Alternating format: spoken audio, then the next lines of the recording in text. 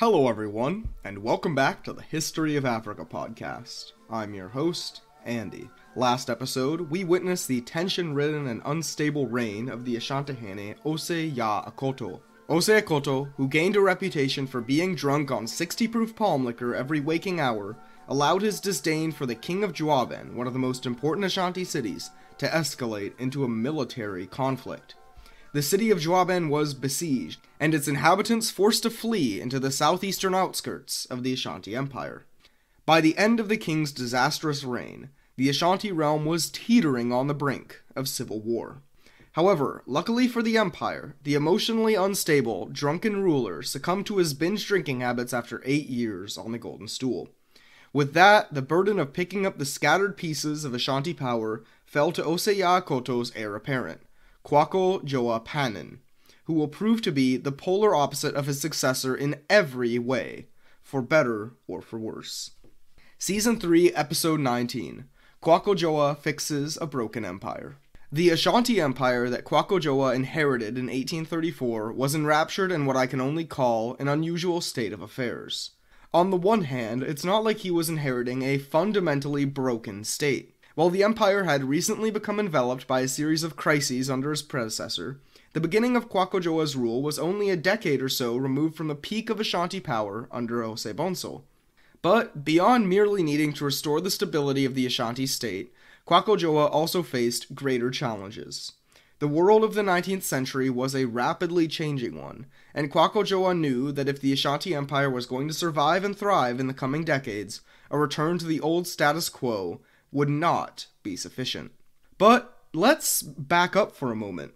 Who exactly is this Kwaku guy who I keep bringing up, anyways?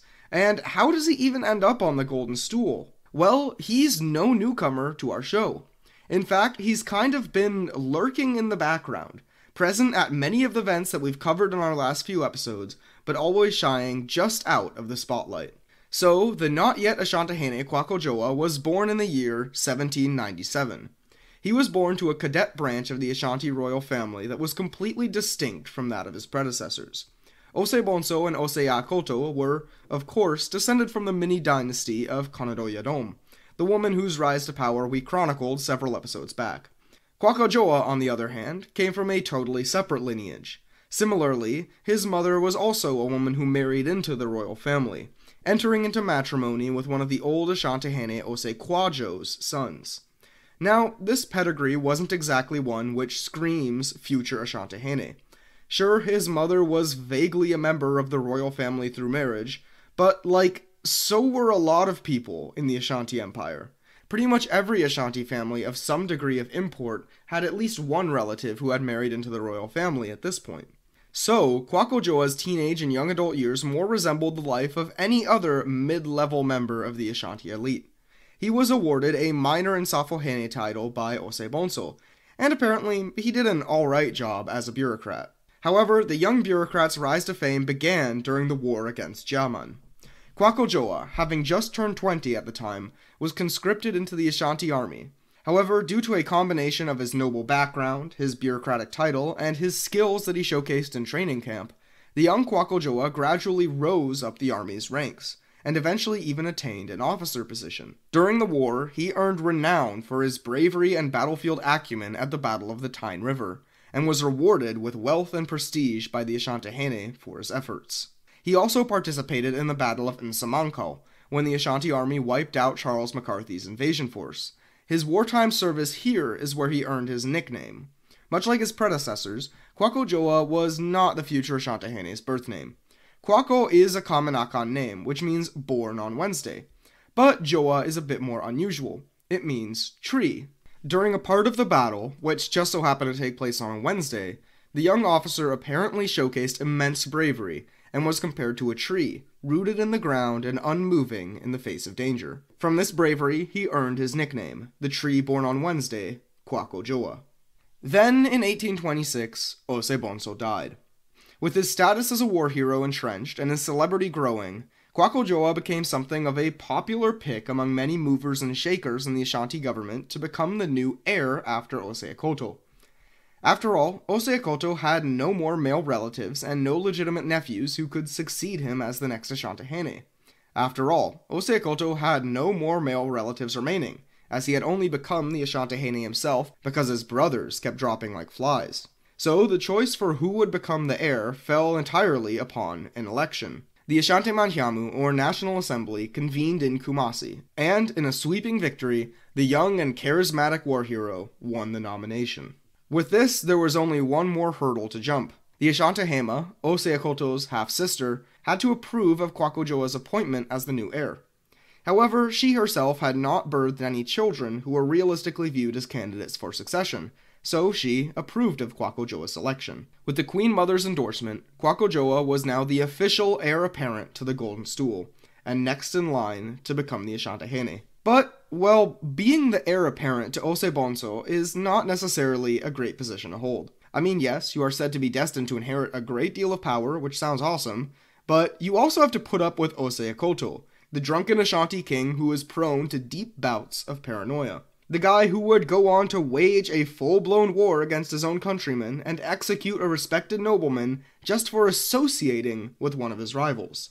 Being the heir to the Golden Stool guaranteed that Kwaku Dua would become a principal subject of Osei Bonsu's paranoia, and was just as likely to send Kwaku Dua to an early grave as it was to send him to the palace. And throughout his tenure as heir apparent, Kwaku Dua got more than his fair share of abuse from the perpetually paranoid Akoto. Almost immediately after Kwaku Dua's election to the position of heir, the Shantahene exhibited immense suspicion towards him, especially after the Battle of Katamanso. Remember how the Juabenhene Boaten had brought back the golden stool after the king had lost it during his hurried retreat, and how the king erupted in an angry tantrum and accused Boaten of stealing precious stones off of the stool? Well, Kwaku Dua had actually accompanied Boaten during his journey to retrieve the stool, so he too was bombarded with accusations of thefts. However, and this was the key to his success, Kwaku Dua knew exactly how to handle this type of personality. While the Juabenhene loudly protested his innocence, Kwaku Dua knew better than to antagonize the unstable Asantehene. He meekly apologized for any offense to the king. Throughout Kwaku Dua's time as heir apparent, he was noticeably tentative with his language and conduct, frequently walking on eggshells to avoid provoking the easily offended Osei Akoto. In fact, because of his genuflection, the heir gradually acquired the Asantehene's trust, and became one of his most senior advisors. As the king's advisor, Kwaku Dua developed a reputation as the more level headed and competent of the two royals, often advising Osei Akoto against rash and poorly considered ideas. He was, in a sense, the little Abosom on the king's shoulder. So, when Osei Akoto's drinking habits caught up to him in 1834, many in the Ashanti government underwent a burst of enthusiasm. Osei Akoto, the easily offended and often inebriated Asantehene, was now replaced by his more capable and mild mannered heir. And, at least in the first few years of his reign, Kwaku Dua fulfilled this expectation as a return to normalcy in the Ashanti palace.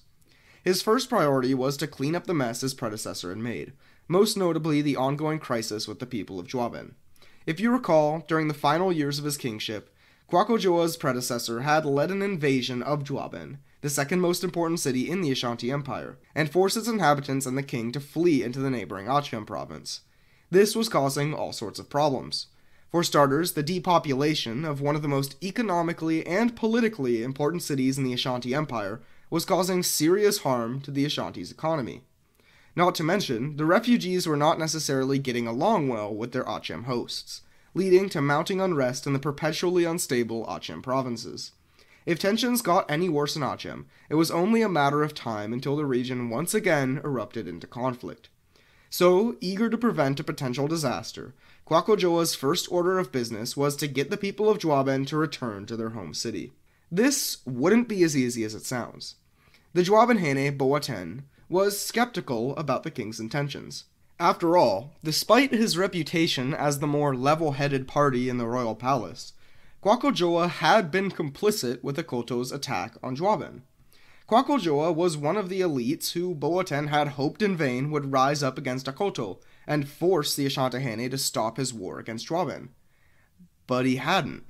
To Boaten, this sudden invitation to return to Juaben by someone who had been, you know, complicit in the war against his people must have looked like a trap. So, desperate to convince Boaten to return, Kwaku Dua sweetened the deal.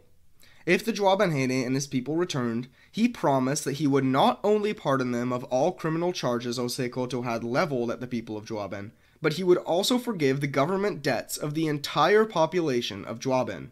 This deal was too good to refuse. Boaten and the majority of his subjects cautiously returned to their homeland, where they tentatively resumed their old lives. Some of his subjects would stay behind, establishing a permanent Ashanti minority population outside of Chebi. By convincing the Juabenhene to come back to his home city, Kwaku Dua had already made some substantial progress in undoing the damage of his predecessor. However, there were still three problems that needed to be dealt with. These problems were Osei Akoto's drinking buddies, the twins Atapanin and Atakoma, as well as the rapist Kochako, who were all still free men roaming the streets of Kumasi and causing as much trouble as ever. Now, Kochako was easy to deal with. He hadn't exactly tried to get away with his crime, figuring that his friend the Asantehene would be there forever to make sure that nobody came after him for it. But in terms of criminal justice, it was easy to prove. There were tons of witnesses who were willing to share that they had seen Kochako running away from the Juaben's house on the alleged night of his crime. The evidence was enough, and with the writing on the wall, Kochako confessed, and was publicly strangled to death. Dealing with the twins, though, would be a bit more troublesome. Unlike Kochako, who was just some guy who happened to be friends with Osei Akoto, the twins came from a powerful noble family. These family connections ensured that prosecuting them wouldn't be easy, as any charge that was viewed as even a little short of set in stone could provoke intense backlash from their powerful family. Not to mention, the twins were a lot less stupidly brazen with their crimes than Kochako. Most of their obnoxiousness was derived from their general sense of entitlement and drunken shenanigans, rather than frequent violent crimes. And when they did commit crimes, which usually consisted of assaulting random people for not offering them praises when they passed by them on the street, their targets of abuse were almost always either commoners or enslaved people, who lacked the connections to try to fight against a powerful noble family in the Asantehene's court. But, well, all Kwaku Dua had to do was to wait for the duo to mess up, and go just one step too far. Eventually, they did. And, as with last episode, this is an adult content warning. If you're a parent listening with children or a teacher listening with students, you might want to skip this next part. A few years into Kwaku Dua's rule, the twins started having an affair with a slave woman.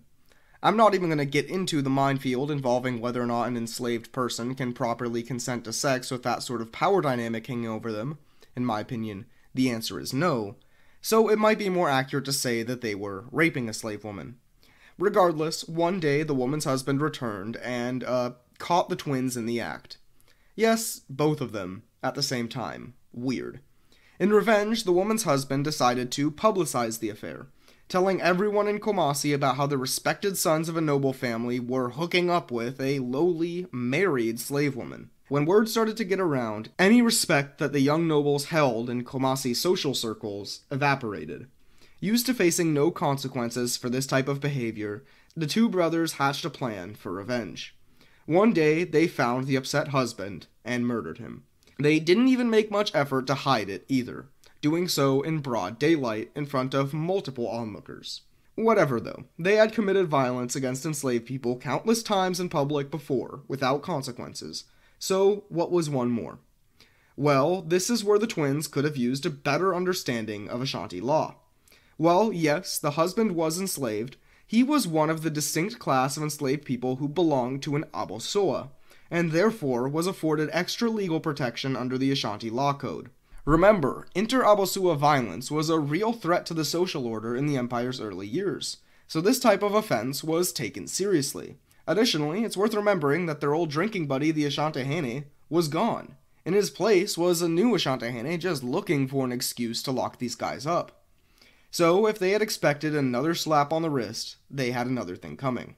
Now armed with the opportunity that he had been waiting for, Kwaku Dua finally decided to rid the empire of the last obnoxious vestiges of his predecessor's disastrous rules. After committing such a serious and undeniable crime, even the twins' family didn't bother putting up much of a fight to defend them. The old drinking buddies of Osei Akoto were put on the chopping block. So, with the king of Juaben back in Juaben, and Osei Akoto's rakish friends no longer a problem, Kwaku Dua had finally restored Ashanti society to a state of normalcy everything in the Ashanti government was mostly back as it had been in 1823. So, with that said, the Ashanti Empire is now back in a healthy state and ready to resume its golden age, right? Well, no, far from it, actually. Yes, while Kwaku had quickly mopped up the most scandalous elements of his predecessor's rule, the empire he now ruled faced many problems with deeper roots than Osei Akoto's incompetence. While the conservative elites of the Ashanti Empire may have desired to return to the old status quo, Kwaku knew that, for several reasons, a return to normalcy meant a return to disaster. For starters, the Ashanti economy had been in a state of absolute freefall since even before Osei Akoto's rule had begun. Unemployment had grown considerably while productivity had declined. If something wasn't done quickly, the Ashanti economy could face long term economic recession or even a lasting depression. The factors behind this economic decline were fourfold. The most significant cause of the Ashanti's economic decline in the early 19th century was the abolition of the slave trade. As we saw a few episodes back, starting in 1807 and lasting throughout the next decade or so, almost every country in Europe and the Americas abolished the international slave trade. To clarify, they didn't abolish slavery as a process, but made illegal the importation and exportation of enslaved people. While definitely a win for human dignity and rights, the abolition of the slave trade proved disastrous for the Ashanti economy. For centuries, the exportation of human beings from neighboring countries had fueled the Ashanti Empire's meteoric economic growth. In the short term, the trade was incredibly profitable, while prices varied by era, enslaved people from Ghana usually fetched a price somewhere near the modern equivalent of 300 US dollars, with the price peaking around the equivalent of $500 in the mid 18th century. At first, this sounds shockingly low, especially when you consider that this is a price that we're putting on the head of a human being with a soul and family. But when you consider the enormous quantity of captives that even a single war could produce, it's easier to imagine just how wealthy Ashanti merchants became off this trade. The abolition of the transatlantic slave trade cut off this key revenue stream. While a few countries, namely Brazil and some other states in Western and Northern Africa, continued the slave trade for several decades longer, the combination of lower demand and British efforts to intercept slave trading vessels made this trade relatively unprofitable. Coincidentally, or perhaps because of the end of this transatlantic slave trade, the long term drawbacks of a slave trading economy became more apparent. Depopulation of the Ashanti's neighboring regions, caused by the taking of slaves during wartime and as tribute, dramatically stunted economic productivity outside of the core of Asanteman itself. It also shrunk the size of the market for Ashanti goods. There were fewer potential customers for Ashanti manufactured goods in the regions surrounding them, which harmed demand for Ashanti products more generally. Of course, enslaved people were not the only products that the Ashanti sold to European merchants. And God, it feels so weird to refer to people as products, but remember, that's just how enslaved people were viewed back then. But yeah, the abolition of the slave trade did not terminate trade altogether between the Ashanti and Europeans. Far from it. In fact, the end of the slave trade allowed Ashanti merchants to continue exporting gold, kola nuts, ivory, and spices at an even higher rate than before, with gold, of course, being the most valuable commodity by a great margin. These remaining exports were valuable, but they were not sufficient on their own to balance European imports like rum, firearms, salt, and cowrie shells. This resulted in the creation of a major trade deficit, in which the Ashanti Empire bought much more than they sold to foreign merchants. This trade deficit became even more pronounced during wartime, as the demand for imported firearms skyrocketed, without an equivalent increase in export demand. Now, trade deficits are not inherently bad for an economy and can even be a sign of rapid economic expansion, but when coupled with a decline of the value of existing exports, it can result in some really negative consequences. And in 1828, with the discovery of several major gold mines in southern India and the southeastern United States, global gold prices briefly retracted. Declining gold prices hit the Ashanti economy like a train in the following years. With prices declining, Ashanti gold miners decreased their sales to merchants, who, in turn, could now import fewer European goods.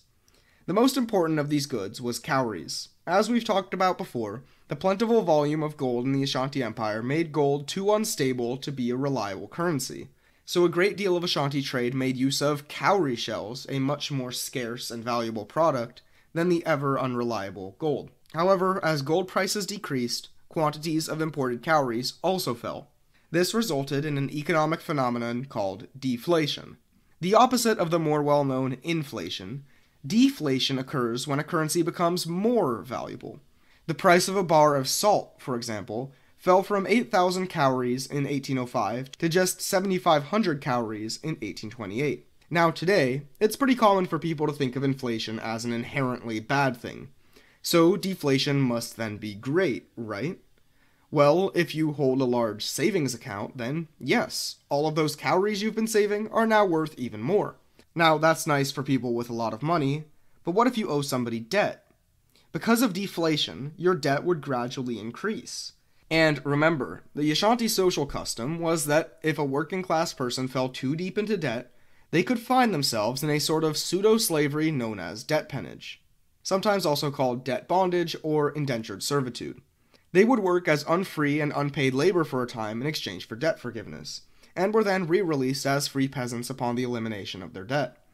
But with deflation growing the magnitude of Ashanti private debts, more and more people were pressured into peonage for longer and longer terms. The growing number of people in peonage became a significant problem for the Ashanti economy. Due to their working for debt relief rather than wages, people in peonage and enslaved people more generally were essentially non participants in the Ashanti domestic consumer economy. They did not buy anything, which meant that their growing population was a blight on Ashanti domestic producers. And the kings of Ashanti had made these economic problems worse by fighting devastating and expensive wars in the south for what exactly? That's right, access to the coast where they couldn't even sell slaves anymore. Which brings us back to Kwaku Dua. In the early 1840s, after decades of these economic problems compounding, the Ashanti economy was increasingly falling into a downward spiral. Kwaku Dua knew that he had to act fast and that any salvation from these cascading economic problems would require unprecedented solutions. So, in an effort to save the Ashanti economy, Kwaku Dua initiated a series of reforms that introduced unheard levels of state regulation into the economy. Most importantly, the deflation and personal debt crisis had to be alleviated. Kwaku and his advisors arranged for a meeting with the Dutch, in which they personally ordered an enormous shipment of cowries in 1845. To pay for these cowries, Kwaku personally ordered for the imposition of a new graduated tax on inheritance.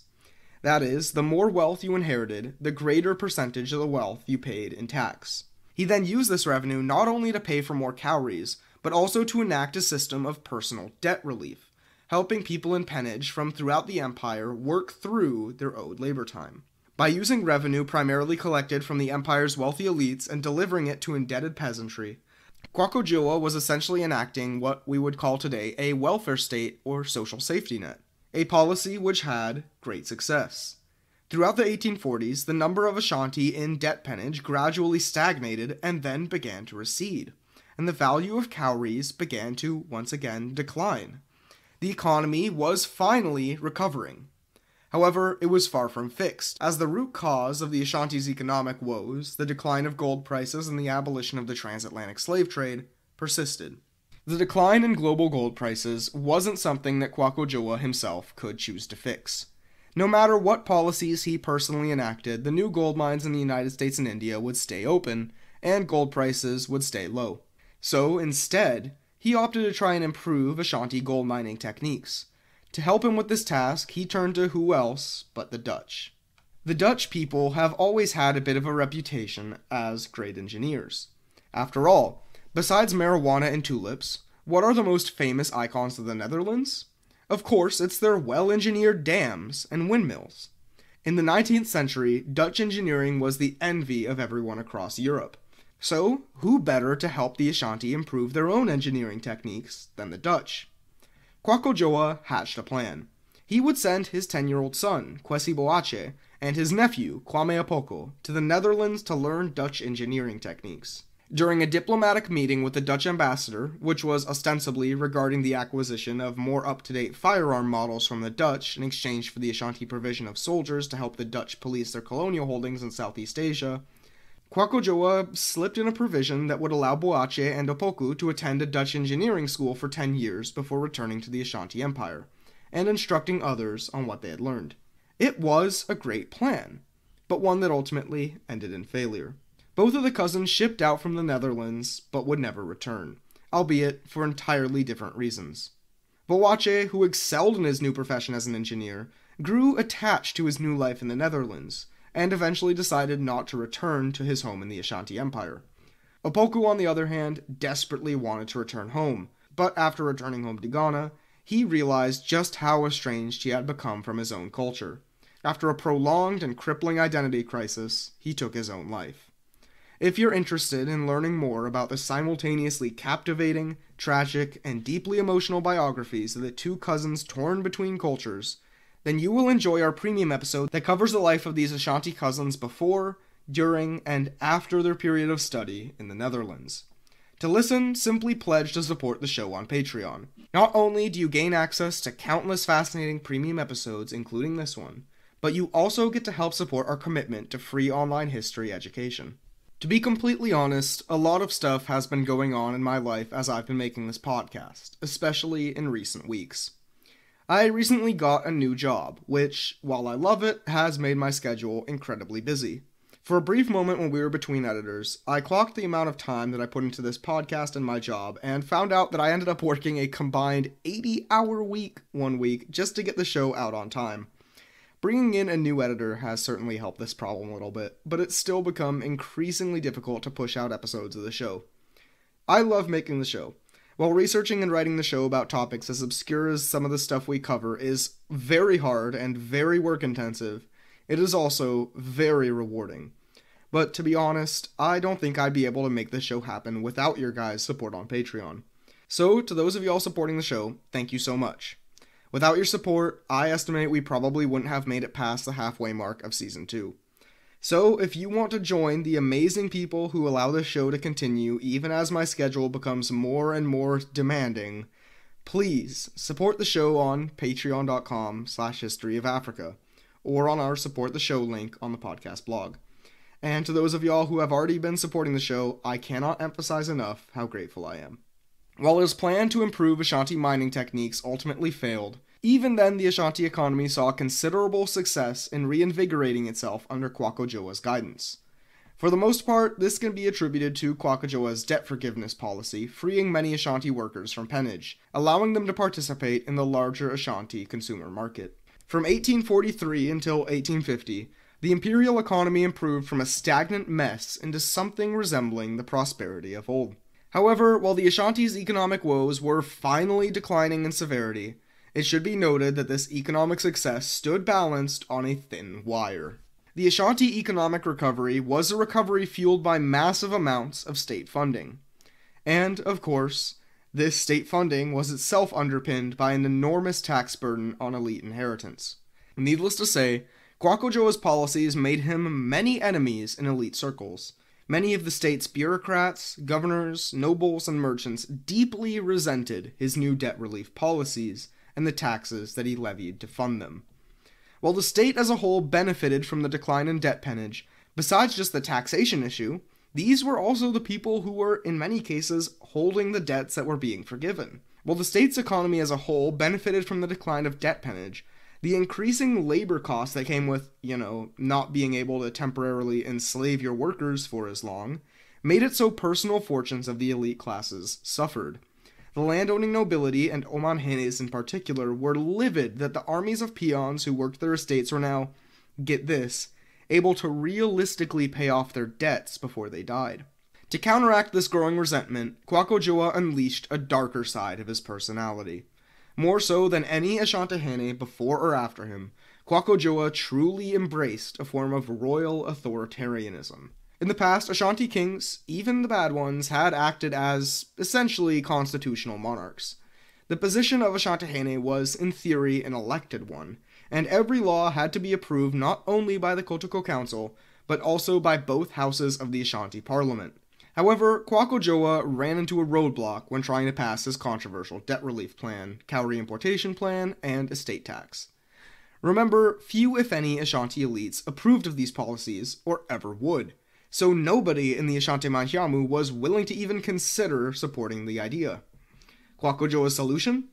Simply ignore them and just enforce the law anyways. In a move of unprecedented absolutist ambition, Kwaku had basically decided that his will alone was enough to make law. But, I mean, how does this even work? How does this not provoke strong backlash from Ashanti elites? But Ashanti political elites had impeached and overthrown kings for less, much less, than this in the past. So, what stopped them from calling for Kwaku Dua's removal when he made it clear that he didn't care about their input and enacted a controversial law despite the objections of the entire parliament? Well, Kwaku Dua had some pretty good reasons to expect that he would emerge the winner in this political gambit. For starters, he controlled the respect of the country's military. Remember, Kwaku Dua had practically started his civil career as a military officer, so he was incredibly popular among the army. It didn't hurt that his government generally favored military elites over non military elites. In particular, he appointed a close military ally, Owusu Koko, to run many affairs of the Ashanti state. Owusu was a man with a great deal of military experience, due to his position as the Amanhene of the Ashantis, Akyem province, one of the most volatile provinces in which he had to crush near constant revolts early in his career. This province also held the largest permanent Ashanti garrison. Shoring up his reputation with one of the Ashanti's most important military leaders, Kwaku Dua awarded Owusu with a great deal of power over domestic and military politics alike elevating him to be essentially the de facto second most powerful man in the empire. His imposition of new taxes was also coupled with constant funding increases for the permanent elements of the Ashanti army, further bolstering their loyalty to the Asantehene. Not to mention, the king was probably quite popular among the massive class of people who had benefited from his debt relief policies. While we don't exactly have polling data from back then, I would be very surprised if the policy of giving indebted Ashanti free money to pay off their crushing debt didn't win Kwaku Dua any substantial support from the working class. I doubt that many Ashanti politicians were willing to back any sort of suicidal attempt to remove a king so popular with both the Ashanti working classes and military. To further bolster the security of his power, Kwaku Dua turned to more, well, conventional means of enforcing his will. Unlike his predecessor, who had a reputation for essentially letting the state govern itself while he drank all day, Kwaku Dua kept an incredibly tight control on the Ashanti justice system. Not only was he more active in personally inserting himself into even minor criminal trials, the Asantehene also developed a reputation for handing out significantly more punitive rulings than previous rulers. In past decades, crimes like theft, provocative language, and other relatively minor offenses could land the offender a hefty fine or sometimes even just a mandatory public apology. Under Kwaku Dua, the death penalty became the default verdict for all crimes, even minor ones. Now, we don't have the data to know if this was effective at reducing crime, but we can speculate that it was certainly effective at terrifying anybody who even considered plotting against the Asantehene's interests. The spree of executions that continued throughout Kwaku Dua's rule deeply puzzled foreigners living in or near the Ashanti Empire. The Dutch in particular had no idea why Kwaku Dua was so comparatively willing to render the death penalty for minor offenses. In fact, this is part of what helped facilitate the earlier deal for the royal cousin's journey to the Netherlands. The Dutch, observing Kwaku Dua's preference for capital punishment, figured that this meant that the Ashanti must have possessed a vastly larger population than the Dutch had previously believed. Reportedly, one confused Dutch envoy asked Kwaku Dua himself why he was killing so many of his subjects. Kwaku Dua provided a response that really enlightens us to his philosophy regarding criminal justice. White people think that I kill my people for nothing, but this is not so. If I were not to kill them when they commit theft and other crimes, order would be lost. Basically, any cost in blood is worth it if it means preserving stability. Kwaku Dua was a Hobbesian sovereign in the truest sense of the term.